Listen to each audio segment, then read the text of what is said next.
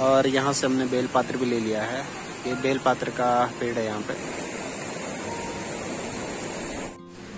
और ये चल दिए हम मंदिर के और और ये है राव। तो इस मंदिर की एक खास विशेषता है कि ये पूरे पत्थरों से बना हुआ मंदिर है इसमें।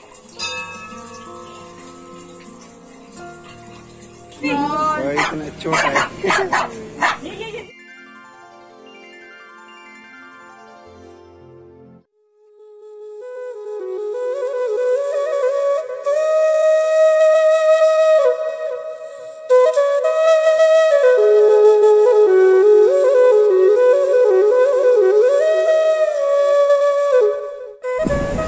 स्वागत है दोस्तों आपका एक बार फिर से पहाड़ी राय प्रदेश में। तो पहाड़ों से इन खूबसूरत वादियों के साथ एक बार फिर से गुड मॉर्निंग सुप्रभात नमस्ते।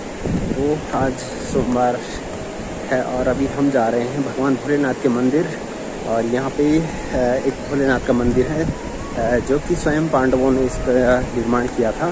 तो अभी हम, मैं और कैलाश वहाँ पर जा रहे हैं जल चढ़ाने के लिए।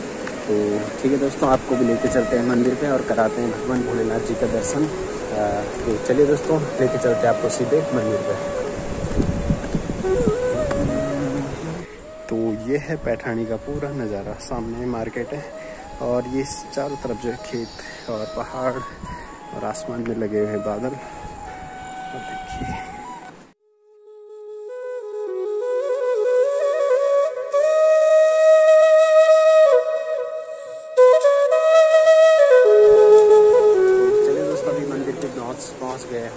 पीछे आप देख सकते हैं। भगवान भोलेनाथ जी का मंदिर। बहुत ही प्राचीन मंदिर है यहाँ पर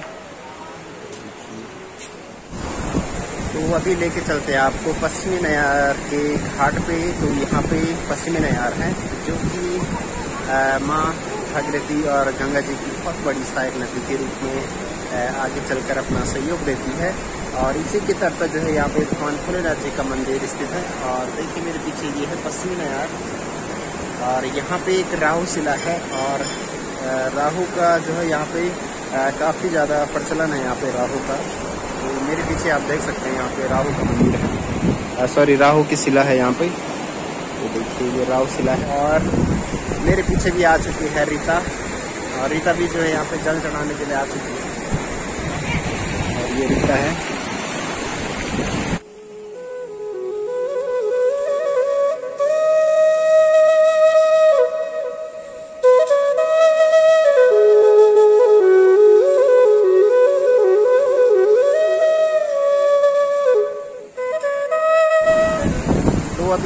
पे जल भर लिया है और मैं उत्तरकाशी से गंगा जल भी लेके आया था और साथ में मैंने अभी रूम से आते हुए वहाँ से फूल भी ले लिया था। तो अभी हम जा रहे हैं मंदिर की तरफ़ और रीता और कैलाश भी आगे चल दिए देखिए। और यहाँ पे क्या, बेलपात्र? और यहाँ से हमने बेलपात्र भी ले लिया है। ये बेलपात्र का पेड़ है यहाँ पे। और यहाँ से मंदिर के लिए जो हम बेलपात्र ले जा सकते हैं, और हमने बेलपात्र भी ले लिया है। देखिए। और फूल भी ले लिया है, बेलपात्र, जल और अब मत तोड़। और ये है बजरंग बली जी का मंदिर। तो थोड़ा सा माथा टेकेंगे। और इसके बाद यहाँ पे राम लक्ष्मण और सीता जी का मंदिर है यहाँ पे। और चलिए लेके चलते हैं आपको मंदिर पे ओम सियावर रामचंद्र की जय हो। तो ये है माता रानी का यहाँ पे मंदिर। और ठीक सामने है पश्चिमी नया। और देखिए, कल कितना कल कितना जल स्तर बढ़ रहा था और आज देखिए कितना कम हो गया है पश्चिमी नयार का जल स्तर। कल तो पूरी जो शिला दिख रही है आपको सामने, पूरी पानी से पूरा ढक चुका था। और आज देखिए कितना कम हो गया पानी का जल स्तर। यहाँ से देखिए, ये जो मंदिर है भगवान भोलेनाथ जी का, ये इन्हीं दो नदियों के संगम पर यहाँ पे स्थित है।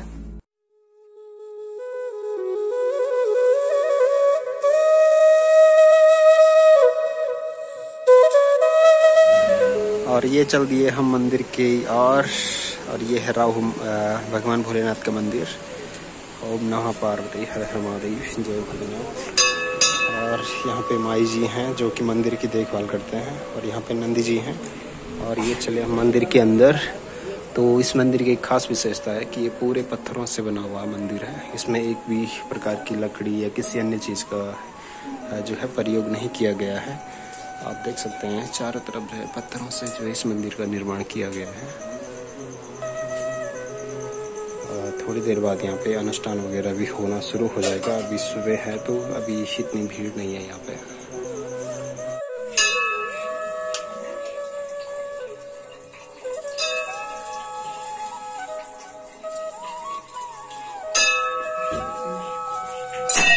और देखिए, आज मौसम भी कितना साफ़ है। काफ़ी साफ़ हो रखा है और बादल भी है और शाम को तो हमेशा बारिश ही हो रही है लगी और यहाँ पे पीपल का पेड़ है तो मैं हल्का सा जल यहाँ भी चढ़ाऊँगा थोड़ा सा। और भंडारे की प्रतीक्षा में दो नौ युवक यहाँ पे बैठे हुए हैं, आस लगाए हुए कि कब हमें भंडारा, कब यहाँ भंडारा लगे और कब हम टूट पड़े। तो ठीक है दोस्तों लेके चलते हैं आपको अब सीधे रूम पे और मंदिर के दर्शन भी हो गए हैं हमारा। तो चलिए अब सीधे रूम पे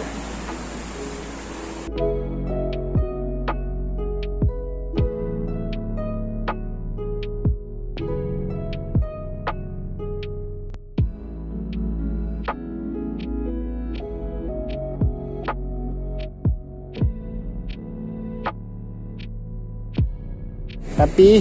कहा घूमनो? और टप्पी। तो ये है टप्पी हमारे मकान मालिक का कुत्ता, जिसका नाम टप्पी है। कहाँ घूम रहा हैं? तो बंदरों को भगाने के लिए जो है ये एक्सपर्ट है। मतलब बहुत ही ज़्यादा रखवाली करता है इस पूरे क्षेत्र में। मोहित और कैलाश। मौसम बहुत ही अच्छा है। काफ़ी मतलब बादल लगे हुए हैं, पर मौसम खुल रखा है, धूप लगी हुई है। और शाम को फिर से जो है बारिश लगना स्टार्ट हो जाएगा, क्योंकि यहाँ पर डेली जो है बारिश लग रही है। तो देखिए, चारों तरफ़ का मौसम कितना अच्छा हो रखा है। हरियाली चारों तरफ़।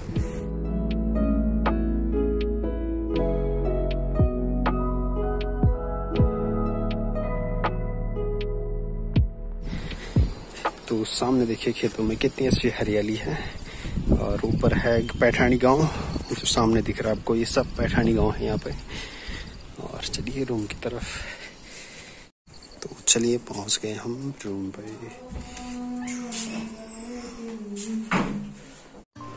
तो सामने देखिए दोस्तों, ये हमारा पूरा कॉलेज है। सामने दिख रहा है आपको, ये हमारा पैठानी गाँव है। ये सामने जो यहाँ का मुख्य गाँव है पैठानी तो ये पैठानी गाँव है यहाँ पे। और यहीं पे जो है हमारा कमरा भी यहीं पे है गाँव में। और ये जो है पश्चिमी नयार है जो नदी दिख रही है आपका इसका नाम पश्चिमी नयार है। और सामने दिख रहा है आपको ये है सामने पैठानी मार्केट। जो ये सामने दिख रहा है आपको ये पैठानी मार्केट है यहाँ पे। और ये पूरी जो है राहु की भूमि है जो जितना भी आपको दिख रहा है ऊपर से लेकर के नीचे तक ये पूरा क्षेत्र जो है राहु की भूमि के नाम से विख्यात है। और ये सामने का नज़ारा कुछ इस प्रकार से है। और देखिए बारिश भी आ गई है। बेला भी है हाँ।